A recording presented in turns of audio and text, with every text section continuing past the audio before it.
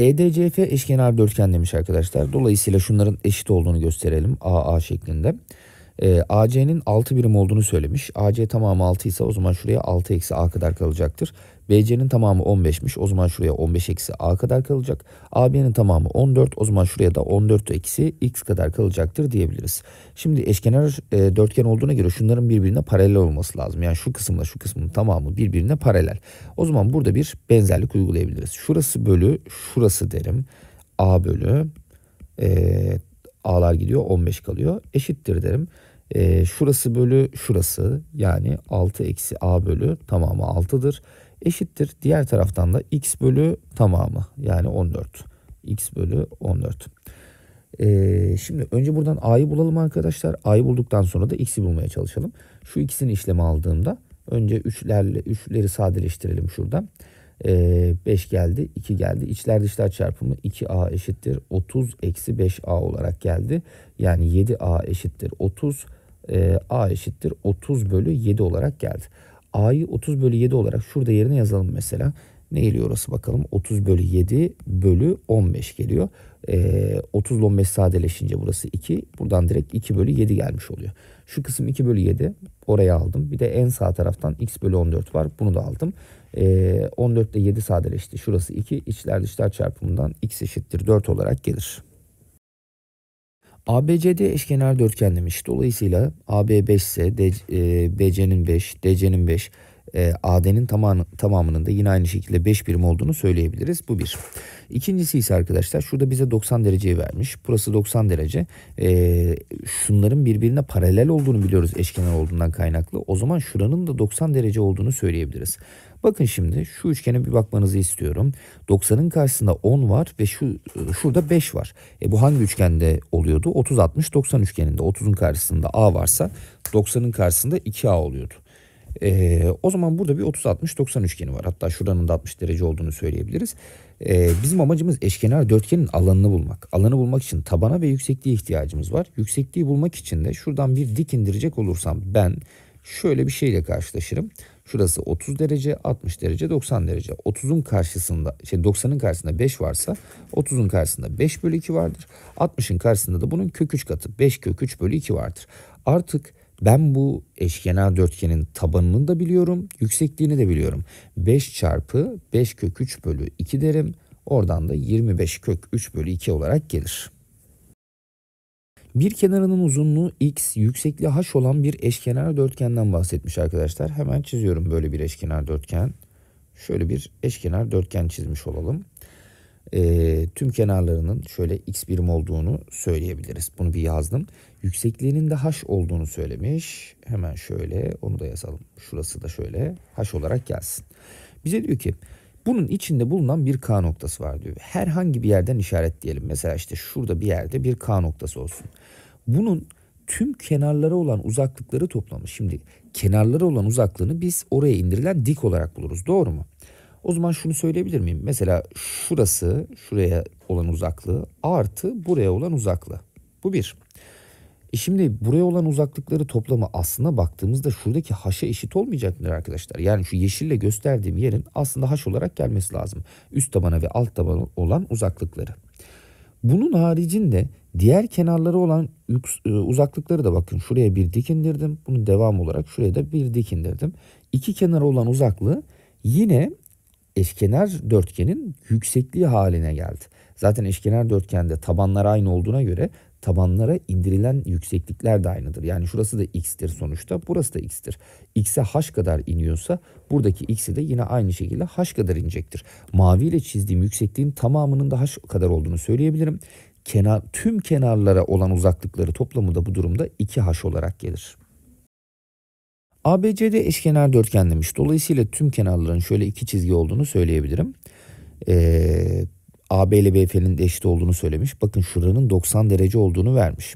E şimdi şu do BC ile de AD'nin paralel olması gerekiyor eşkenar, eşkenar dörtgen olmasından kaynaklı. O zaman burası 90 sa yöndeş açılardan şuranın da aynı şekilde 90 olması gerekir. Şimdi burada bir şeyin dikkatinizi çekmiş olması lazım. AA 2A oldu. Ee, şu üçgende 90'ın karşısında 2A var. Şurada da A var. A 2A O zaman burası 30-60-90 üçgeni. 30'un karşısında A varsa 90'ın karşısında 2A vardır diyebiliriz. Şimdi eşkenar dörtgenin alanını söylemiş bize. Şöyle bir şey yapalım. Şuradan bir tane dik indirelim arkadaşlar. 90'ın karşısında A varsa şurada bir 30-60-90 üçgeni oluştu. 30'un karşısında bu durumda A bölü 2 vardır. 60'ın karşısında da A kök 3 bölü 2 vardır. Şu anda eşkenar dörtgenimizin tabanını A olarak söylediğimizde yüksekliğimizi de buradan A kök 3 bölü 2 olarak söyleyebiliriz. İşte bunu bize 32 kök 3 olarak kendisi vermiş zaten. Kök 3'lerin burada gittiğini görüyorum. İçler dışlar çarpımı a kare eşittir 64 olarak geldi. Bu durumda a eşittir 8 olur. Eşkenar dörtgenin bir kenarı 8 birim. Eşkenar dörtgenin çevresini sormuş bize. 8 çarpı 4'ten 32 olarak gelir. ABCD eşkenar dörtgen demiş arkadaşlar. Eşkenar dörtgen olduğuna göre köşegenler bir defa dik kesişecektir. A ile C'yi birleştirdiğimizde şurası 90 derece olacaktır. Ve eşit bir şekilde ayrılacaklardır köşegenler. Yani şöyle ki BD'nin tamamı 8 birimdi. O zaman e, 4 4 şeklinde ayrılacak. Yani şuraya 2 düşecek, buraya da 4 düşecek diyebiliriz. Tüm kenarlar birbirine eşit. Dolayısıyla şuranın da aynı şekilde 2 kök 7 olması lazım. E, şuraya y diyelim arkadaşlar. Bir Pisagor uygulayalım. 2 kök 7'nin karesi 4 çarpı 7'den 28 eşittir. 4'ün karesi 16 artı y'nin karesi olarak yazarsam y kare eşittir 12 olarak gelecektir. Yani y eşittir buradan 2 kök 3 olarak gelir. Hemen şurada geldim yerine yazdım. Orada bir Pisagor daha uygularsam artık x'i bulabilirim. 90'ın karşısında x var. x'in karesi eşittir 2'nin karesi artı 2 kök 3'ün karesi x kare eşittir 16 ise x eşittir 4 olarak gelir. ABCD eşkenar dörtgen demiş arkadaşlar. CE'nin 6 birim olduğunu söylemiş bize. AB eşittir 3CF demiş. CF kısmına eğer K diyecek olursam AB kısmının 3K olması lazım. Eşkenar dörtgen olduğu için tamamı 3K olur. O zaman e, BF'ye de 2K olması gerekiyor ki tamamının 3K olması sağlanmış olsun. Şimdi şuradaki oluşan ke, e, kelebek benzerliğine bakacak olursanız. E, çünkü şuranın paralel olduğunu biliyorum değil mi? Kelebek benzerliği uygulayabilirim. Buradaki oranımız K'ya 2K. 1'e 2'lik bir oranımız var. O zaman burası 6 ise CE 6 ise burası onun, onun 2 katı olmalı. Yani 12 olmalı. 3K eşittir 12 ise K eşittir buradan 4 olarak gelir. Bize çevre ABC'yi sormuş. Yani gerçi K'ya da ihtiyacımız yok. AB'yi zaten biliyoruz 12 olarak bulduk. O zaman 12 çarpı 4'ten cevabımız 48 olarak gelir. ABCD deltoid demiş. Deltoid olduğuna göre arkadaşlar köşegenler dik kesişiyor. Bunu zaten göstermiş. Bize eşit olan kısımlarını da göstermiş. BD'nin 6 birim olduğunu söylemiş. Ee, köşegenler e, BD köşegeni eşit ayrılacaktır. Deltoid olmasından kaynaklı 8'e 8 olarak ayrılacaktır. 5 EC eşittir 2 AE demiş. Bu durumda EC kısmına eğer 2K dersem AE kısmına da 5K demem gerekir. Deltoidin alanını biz şöyle buluyorduk. Köşegenler çarpımının yarısı olarak buluyorduk. Şimdi köşegenlerinden birisi 16 çarpı diğer köşegenimiz 7K e, yarısı bölü 2 dedim. Bu şekilde alanı bulacağım 168 olarak. E, 16'yı 2'ye böldüm 8 olarak geldi. 168 ile 8'i sadeleştirdiğimde e, burası 21 olarak gelecektir. 7K eşittir 21 ise K eşittir buradan 3 olarak gelir. K eşittir 3 o zaman 2K eşittir 6. 5K eşittir buradan 15. 8, 15, 17 üçgeni buradan oluştu. 6, 8, 10 üçgeni de buradan oluştu. Çevresini sormuştu bize. 17, 17, 34. 10, 10, 20. Yani toplamları 54. AEB eşkenar üçgen demiş arkadaşlar. Hemen şunların kenarlarının eşit olduğunu ve 60'ar derece olduğunu bir göstereyim. Şurası 60 derece. E'nin tamamı da 60 derece. Ee, daha sonra ABCD'nin de eşkenar dörtgen olduğunu söylemiş. Dolayısıyla şurası 110 ise 180'i tamamlamak için şuranın da 70 derece olduğunu söyleyebiliriz mesela. Ee, eşkenar dörtgen olduğuna göre arkadaşlar bunun bir kenarını şöyle maviye boyadıysam diğer kenarlarının da eşit olması lazım. Şöyle Bizim buradan işimize yarayacak olanlar kalsın. Geri kalanını silelim. Bakın şimdi. Benim işime yarayacak olan kısım işte şu kısım. Niye derseniz burada ikizkenar bir üçgen oluştu dikkat ediyorsanız. 60 70 130 oldu. Geriye 50 kaldı. Demek ki şunlar 25'i 25 olarak paylaşacaklar. Aynı zamanda şuranın eşkenar üçgen olduğunu biliyordum. Tamamı 60 olduğuna göre alfaya 35 derece kaldığını söyleyebilirim. ABCD eşkenar dörtgeninin iç teğet çemberinin yarıçapı 12 birimdir demiş. Ben şöyle bir çemberimsi bir şekil buranın içerisine e, yerleştirebileceğim şekilde şöyle bir çember çizeceğim. Hı. Şöyle bir çember çizdim. Diyor ki bunun yarıçapı 12 birim. Ee, önce bunun merkezini bir bulalım arkadaşlar. Hatta A ile C'yi birleştirelim. A ile C'nin birleştiği yer bunun merkezi olacaktır. Ee, yarı çapının 12 birim olduğunu söylemiş. Yani ben şuradan tabanlara indirdiğimizde teğet geçen yere e, dik oluyor değil mi? Teğet geçen yere aynı şekilde şurası da dik olacaktır.